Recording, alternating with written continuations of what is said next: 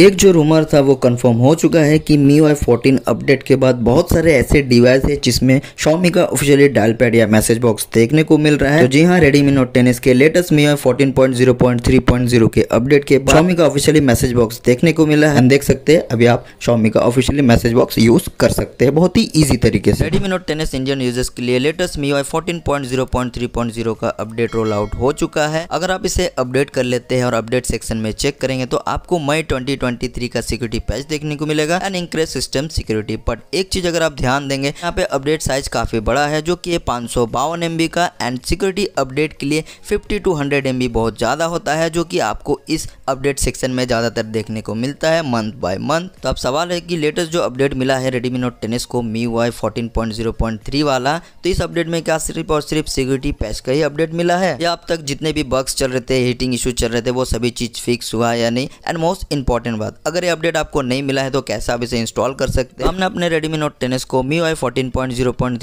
की stable update में update कर लिया है। एंड अगर आप यहाँ पे देखेंगे तो मई 2023 का सिक्योरिटी पैच मिला है और इस अपडेट में अब तक का सबसे बड़ा चेंजेस देखने को मिला है। अगर आप यहाँ पे सेटिंग पे जाएँगे सिस्टम अपडेटर पे जाएँगे तो अब आप अपडेट सेक्शन में शॉमी का मैसेज बॉक्स देखने को मिलता है। हम लोग इसे अपडेट कर लेते हैं। अपडेट करने के बाद देखते हैं कि गूगल मैसेज एप्लीकेशन रिप्लेस होता है या नहीं। तो यहाँ पे अपडेट स्टार्ट हो चुका है। एंड यहाँ पे देख सकते हैं डेवलपर का भी नाम दिया गया है और होम में जाकर दिखा देते हैं कि मैसेज एप्लीकेशन रिप्लेस नहीं हुआ है, लेकिन एक चीज़ आप ध्यान ज़रूर दीजिएगा, जैसे आप मेनू पे जाएँगे, अब आपको Xiaomi का ऑफिशियली मैसेज बॉक्स देखने को मिल गया है। ये जो मैसेज बॉक्स है, मुझे गूगल के मैसेज बॉक्स से काफ़ी ज़्यादा बढ़िया देखने को मिलता है। फ़र्स्ट टाइम ओपन करेंगे तो आपको चॉइस करना पड़ेगा कि आपको गूगल मैसेंजर चाहिए या Xiaomi या ऑफिशियली मैं तो भाई Xiaomi के ऑफिशियली के साथ ही जाऊँगा। एंड उसके बाद जो भी मैसेज वगैरह है, वो हर एक चीज़ आप Xiaomi के ऑफिशियली मैसेज बॉक्स में यूज़ कर सकते हैं। जैसा कि यहाँ पे देख रहे हैं। And may be next update में आपको गूगल का डायल पैड हटा के शॉमी का ऑफिशियली डायल पैड भी देखने को मिल सकता है। तो अब तक का सबसे बड़ा चेंजेस आया है और क्या क्या चेंजेस आया है और क्या हीटिंग इशू वगैरह फिक्स हुआ या नहीं।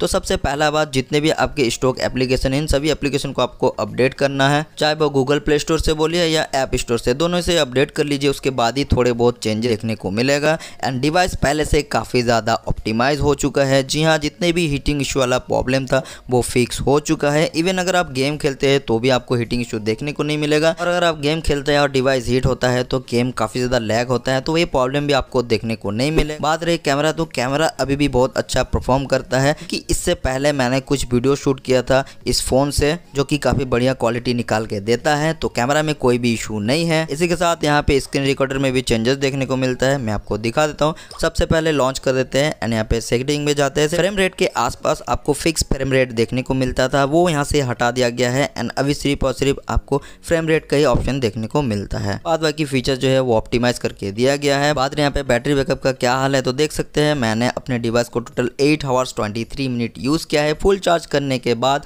और अभी भी मेरे डिवाइस में सेवेंटी बैटरी बचा हुआ है। इस हिसाब से आप बोल सकते हो कि बैटरी बैकअप में भी इंप्रूवमेंट हुआ है। अब चलते हैं यहाँ पे सीपीयू थ्रोटिंग को टेस्ट करते हैं कि कैसा परफॉर्म देखने को मिलता है। सबसे पहले ओके कर देते हैं एंड परफॉर्मेंस को यहाँ पे स्टार्ट कर देते हैं। तो ग्राफ देख सकते हैं किस तरह से जा रहे तो गेम में आपको एवरेज परफॉर्मेंस ही मिलने वाला है। उतना हाई लेवल परफॉर्मेंस नहीं मिलेगा। बट यहाँ पे हीटिंग इशू बहुत कम ही देखने को मिला है। और चायरो वगैरह, इसके नेक्स्ट वीडियो में हम लोग टेस्ट करेंगे। वो भी ऑन गेम खेलने के टाइम है। और बात रही कि इस अपडेट को आप कैसे इंस्टॉल कर सकते हैं। तो देखिए अपडेट को इंस्टॉल करना बहुत ही ईजी है। सिंपली आपको सेटिंग पे आना अबाउट फ़ोन एंड इस ऑप्शन पे क्लिक करना है। अपडेट एप्लीकेशन ओपन हो जाएगा एंड सिंपली यहाँ पे चेक करना है। अगर यहाँ पे अपडेट अवेलेबल होगा मी वाई वाला को शो हो जाएगा। सिंपली डाउनलोड करके इंस्टॉल कर सकते हैं। इन केस अपडेट शो नहीं होता है तो डिस्क्रिप्शन बॉक्स में मैं इसका डाउनलोड लिंक दे दूँगा। आप वहाँ से जाकर इजीली डाउनलोड कर सकते हैं। डाउनलोड करने के बाद सिंपली इस एप्लीकेशन को ओपन करना है। अपडेट एप्लीकेशन को कंटिन्यू इस तरह से टैप करना है। Additional update features are on हो जाएगा।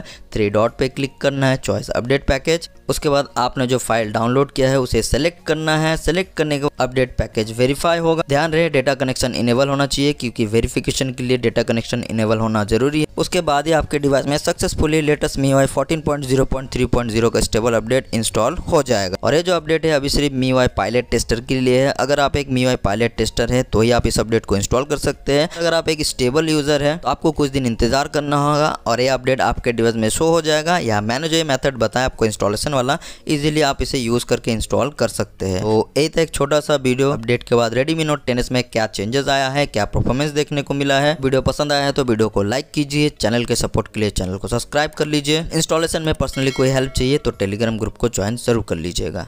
Thank you